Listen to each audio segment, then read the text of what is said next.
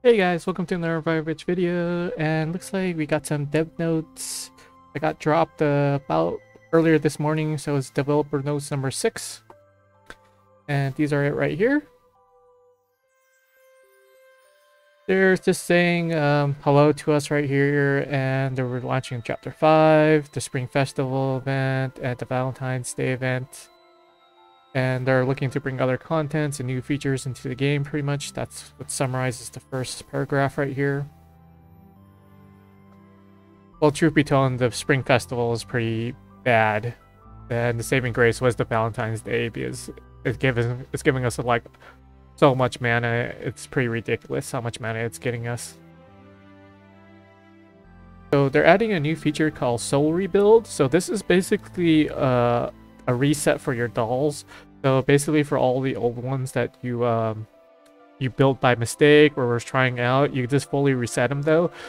But the thing is, it's going to require a purifying water though. Uh, you get one per day, it seems. So it says right here, daily activity says 100. So I'm hoping that they attach this um, together with the uh, stamina. That it would really suck if they replace the stamina, uh, the full stamina pot with this. That would be really bad.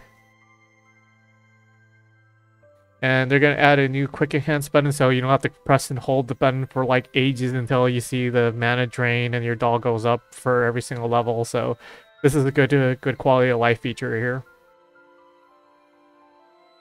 At number two, they're going to give us pretty much uh, equipment presets. These are pretty much loadouts. So so this is going to be coming really handy though, so you don't have to equip like swapping equipments here and there though. You can just set the best ones and just make sure you don't have any overlapping ones on the same team and you should be good to go. And the third here is that they're launching a new event in March. Uh, this is pretty much was hinted at. Uh, this is pretty much White Day.